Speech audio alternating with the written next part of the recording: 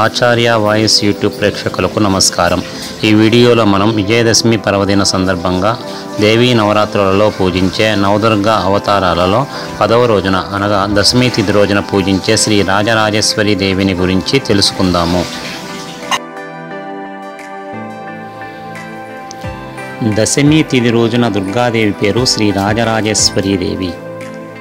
లలితా పరమేశ్వరే రాజరాజేశ్వరి. లలితాదేవి మహామంత్రాన్నే పంచదశి అంటారు. ఇందులో పదిహేను అక్షరాలుంటాయి.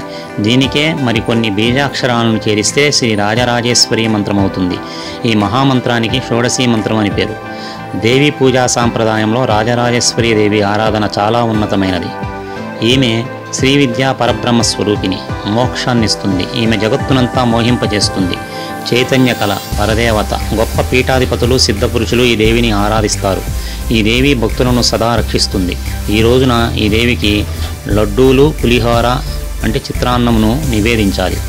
విధి విధానంతో నిష్టగా దేవీ నవరాత్రులు జరుపుకుని విజయదశమి రోజున సాయంత్రం నక్షత్ర దర్శన సమయాన సెమీ వృక్షం అంటే జమ్మి చెట్టుకు ప్రదక్షిణాలు చేసి తమ గోత్రనామాలతో పూజ చేయించుకుంటారు. కొంతమంది కాగితం మీద అర్జునుని తలుచుకొని తమ కుటుంబ సభ్యుల పేర్లు వ్రాసి చెట్టుకి కడతారు. సెమీ చెట్టుకి పూజ చేశాక ఊరి పొలిమేర దాటాలని అంటారు. దీనినే సీమోల్లంఘనం అంటారు. ఇది విజయ విజయానికి చిహ్నం. సెమీ పూజనే అపరాజితాదేవి పూజ అని కూడా అంటారు. అపరాజిత అంటే పరాజయం లేనిది అని అర్థం. సెమీ పూజ పాపాలను నశింపజేసి శత్రువులను సంహరిస్తుంది.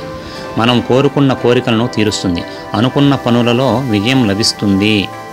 శమీ శమయతే పాపం శమీ శత్రువినాశిని. అర్జునస్య ధనుద్ధారి రామస్య ప్రేదస్సిన.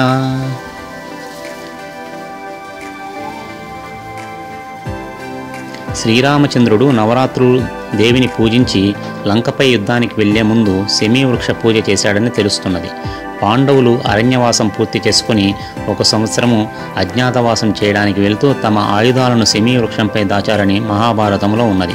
అజ్ఞాతవాసం ముగిసే చివరి రోజున కౌరవులు కుట్రపన్ని ద్రుపదుని గోగణాన్ని అపహరించి పాండవుల అజ్ఞాతవాసాన్ని భగ్నం చేయాలని యుద్ధ సన్నుదులై రాగా అప్పటిదాకా బృహన్నల రూపంలో ఉన్న అర్జునుడు అదే రోజుతో అజ్ఞాతవాసం గడువు తీరిపోగా ఉత్తర కుమారునితో సహా రథంలో వచ్చి సెమీ చెట్టు జమ్మి చెట్టు మీద నుండి తన గాంధీవాన్ని తీసుకోగానే బృహన్నల రూపం పోయి అర్జునునిగా అవతరించి కౌరవుల పనిపట్టి గోగానాన్ని వెంటబెట్టుకుని పోవడం జరిగింది. సరిగ్గా ఈ సంఘటన విజయదశమి పర్వదినం రోజున జరగడం విశేషం.